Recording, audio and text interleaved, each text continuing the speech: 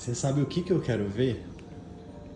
Com 18 ele chegar na mamãe e falar assim: Mamãe, é o seguinte, eu preciso de uma grana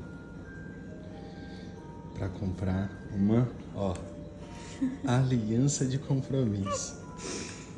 Vou trazer ela, vou trazer ela pra mamãe Você ver. conhecer.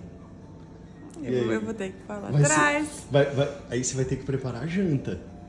É, eu preparo. Qual que é a janta que você prepararia pra sua nora? Primeiro, tem que ser um banquete, amor. Vai ser a, Ai, vai ser a Guilherme, eu namorada não vou seu... pensar nisso agora. Por quê? Por quê? Não. É o seu ciúme, você tem um ciúme, meu amor.